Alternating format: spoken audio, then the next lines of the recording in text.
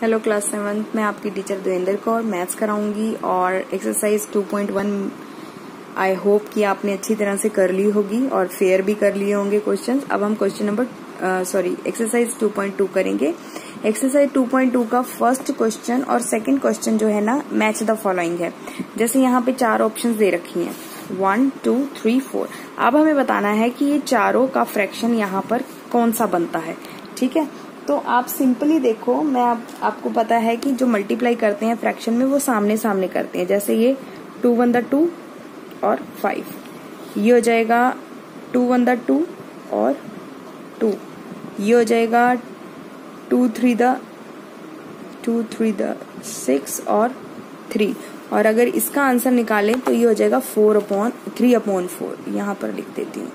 ठीक है? इसको आप नोटबुक में नहीं भी करोगे तो चलेगा।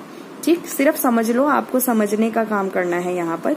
अब देखो क्वेश्चन नंबर पार्ट वन में जो है, अब वो बता रहा है कि टू ये ऊपर वाला नंबर जो होता है ना शेडेड पार्ट होता है। शेडेड पार्ट ऊपर वाला नंबर होता है शेडेड पार्ट नीचे होता है टोटल पार्ट टोटल पार्ट, हर किसी में ऐसी होगा, ठीक है? अब आप देखो शेडेड पार्ट दो होने चाहिए और टोटल पार्ट पाँच होने चाहिए। तो इसमें तो तीन पार्ट है, इसमें दो पार्ट है टोटल इसमें चार है और इसमें पाँच है। तो फ़र्स्ट वाला किससे मैच खाता है? फ़र्स्ट का आंसर डी से मैच खाता है, क्योंकि देखो one two three four five five total हो गए, यहाँ भी फाइव टोटल है, और कितने पार्ट शेडिड है? यहाँ पर दो पार्ट शेडिड चाहिए थे तो दो ही पार्ट यहाँ पर शेडिड है, ठीक है? फ़र्स्ट पार्ट हो गया सेकेंड पार्ट में देखो अब। टोटल होने चाहिए दो। ठीक है?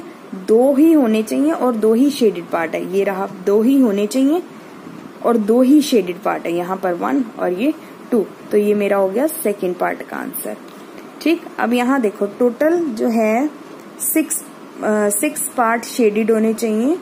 ठीक है? शेडेड पार्ट सिक्स होने चाहिए। मैंने यहाँ पर आपको लिख दिया शेडेड पार्ट सिक्स होने चाहिए और नीचे वाला टोटल पार्ट है तीन। तो ये देखो, एक, दो, तीन। तीन हो गया। और शेडेड पार्ट कितने हैं? Six one two three four five six तो ये मेरा हो गया थर्ड पार्ट का आंसर ठीक? फोर्थ पार्ट में है थ्री अपॉन फोर जो बच गया, अब ये मेरा बचा फोर टोटल है तो one two three four one two three four one two three four four total हो गए. और तीन पार्ट शेडेड है तो वन टू और थ्री तो ये मेरा हो गया फोर्थ पार्ट यहाँ पर मेरा क्वेश्चन नंबर वन डन हो गया. अब आप करेंगे क्वेश्चन नंबर टू ठीक? क्वेश्चन नंबर टू में भी यही है some picture A to C A B C दे रखी है पिक्चर्स आर गिवन बिलो बताना है कौन सा कौन सा अब यहाँ पर भी वही है. टोटल पार्ट नीचे वाला नंबर और ऊपर वाला होता है शेडेड पार्ट शेडेड पार्ट हर किसी में यही रहेगा आपका टोटल पार्ट और शेडेड पार्ट नीचे वाला नंबर जो होगा टोटल पार्ट होगा, ऊपर वाला नंबर जो होगा वो शेडेड पार्ट होगा. अब देखो फ़र्स्ट वाला जो बोल रहा है थ्री अपॉइंट फाइव है तो वो किससे मैच खाएगा? आप देखो three upon five five total होने चाहिए तो यहाँ पर देखो एक बार। यहाँ देखो आप, यहाँ टोटल है। One two three four five five total हो गए। और शेडिड पार्ट वो कितने बोल रहे हैं? थ्री तो वन टू थ्री तो ये मेरा हो गया फ़र्स्ट का आंसर ठीक? सेकंड का आंसर देखो अब टोटल पार्ट जो होने हैं हमारे थ्री चाहिए और शेडिड पार्ट मेरे टू चाहिए। ठीक है? तो टोटल पार्ट थ्री होने चाहिए। वन टू थ्री और शेडिड पार्ट कितने होने चाहिए? टू होने चाहिए। बस इसको आपको समझना है कि टोटल पार्ट और शेडिड पार्ट क्या होता है। बस ये क्वेश्चन करने की ज़रूरत नहीं है नोटबुक में, सिर्फ़ समझ लेना।